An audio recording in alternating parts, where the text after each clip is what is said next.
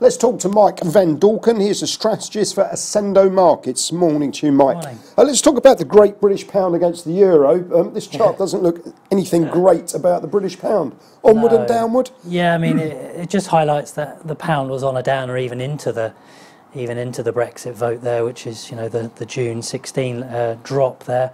Uh, it's, it's had a very tough time, but we've had some support around 1-1. Um, the issue is more euro strength than it is pound weakness of Yep. late.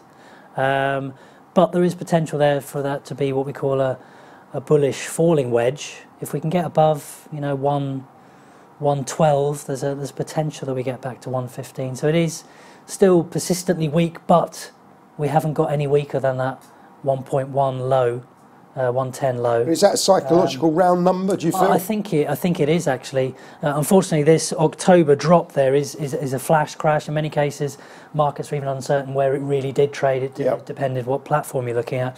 But for the moment, th- there is potential for there to be uh, a bullish breakout, which could give us, you know, a, another four cents upside. Um, then again, you know, Brexit uncertainty still reigning supreme in the UK, and uh, you know, if we get some very strong dollar strength or euro strength, unfortunately, that could send us lower down towards It 105. looks like I'm not going on holiday in Europe this year looking at that.